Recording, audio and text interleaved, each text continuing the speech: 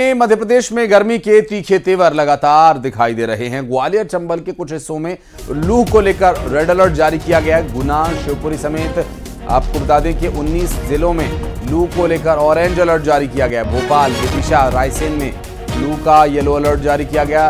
राजगढ़, शाहजहापुर, सीहोर में लू का येलो अलर्ट जारी किया गया। अमरवाड़ा, खरगोन और खंडवा में भी येलो अलर्ट है। निवाड़ी में सबसे ज़्यादा सैंतालीस दशमलव पाँच डिग्री सेल्सियस तापमान दर्ज किया गया है। ऐसे में मौसम विभाग की तरफ़ से जारी किए गए पूर्वानुमान में ये बताया गया कि भीषण गर्मी और लू का दौर रहेगा और जहाँ अभी आवश्यकता है, एहतियात बरतने की उसके बारे में भी, उन जगहों के बारे में भी हम आपको बता रहे हैं।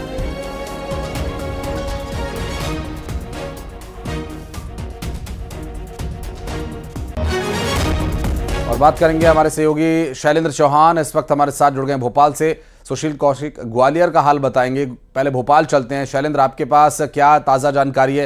क्या कह रहा है मौसम विभाग और कैसी स्थिति आज रहने वाली है मौसम की?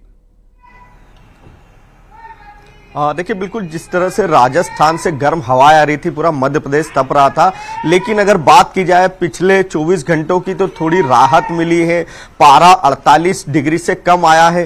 खासकर अब एमपी में केवल दो ही ऐसे ज़िले रहे जहाँ पर सैतालीस डिग्री से ज़्यादा पारा था, तापमान था। अब उसके अलावा बात की जाए भोपाल की तो भोपाल वासियों को भी बड़ी राहत मिली है। जहाँ छियालीस डिग्री के ऊपर लगातार पारा जा रहा था, अब वो चौवालीस डिग्री, यानी पिछले दो दिन में दो डिग्री तापमान नीचे आया है और उससे थोड़ी राहत मिली है। हवाओं का भी रुख थोड़ा सा बदला है।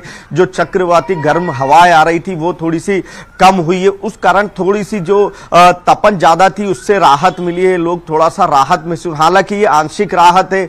आने वाले दो तीन दिन किस तरह मौसम करवट लेता है, मानसून अगर केरल पहुँचता है और उसके बाद किस तरह का असर चक्रवाती हवाओं का पड़ता है, वो देखना होगा। लेकिन फ़िलहाल दो दिन से थोड़ा सा राहत है। हालाँकि हालाँकि भोपाल अभी भी येलो अलर्ट में है। भोपाल में येलो अलर्ट बताया गया है।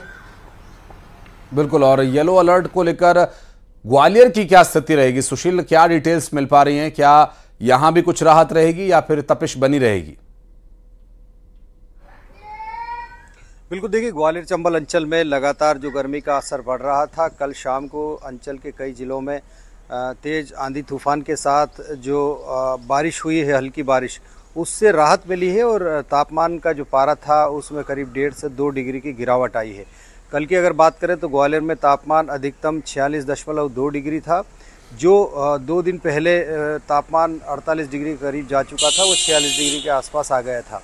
आज सुबह से भी ठंडी हवाएँ चल रही है। ऐसे में माना जा रहा है कि आज भी ग्वालियर चंबल अंचल में तापमान का पारा 45 डिग्री के आसपास रहने की संभावना है, लेकिन कुछ ज़िले ऐसे हैं जहाँ पर गर्म हवाओं के चलते लू के लिए ऑरेंज अलर्ट जारी किया गया है।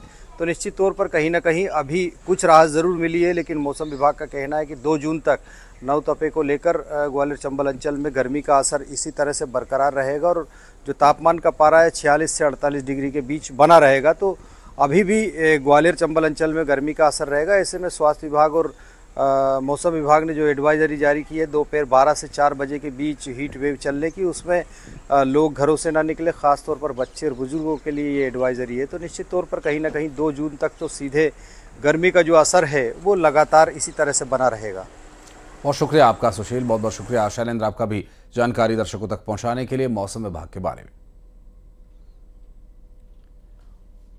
और मुंगेली में सुबह के साथ ही तेज धूप की भी शुरुआत होती है और गर्मी से लोगों का जीना यहाँ पर मुश्किल हो गया है। दरअसल बुधवार को मुंगेली का जो तापमान 46 डिग्री के आसपास रहा, वो परेशान कर देने वाला था और आज भी ऐसी ही परेशानी लोगों को झेलनी पड़ सकती है। दरअसल डॉक्टर्स के द्वारा यह हिदायत दी जा रही है कि बहुत ज़रूरी होने पर ही घर से बाहर निकलें और डॉक्टर्स ने लू और धूप से बचने की सलाह दी।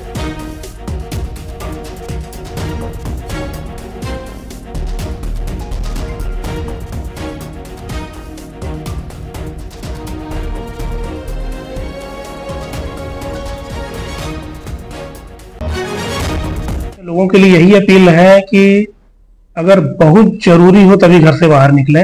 अगर किसी परिस्थिति में निकलना भी पड़ता है तो सर, कान, चेहरा इत्यादि ढक के ही निकलें।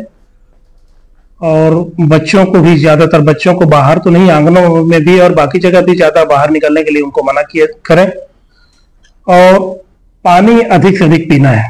और अगर उल्टी या फिर किसी को चक्कर या सिर दर्द ऐसा कुछ हो रहा है तो तुरंत डॉक्टरी सलाह लेना है। मिता गाँव में मितानिन वगैरह होते हैं, उनके पास में ओआरएस घोल पर्याप्त मात्रा में लें उनके पास ओआरएस घोल का सेवन करें। और छत्तीसगढ़ के मंत्री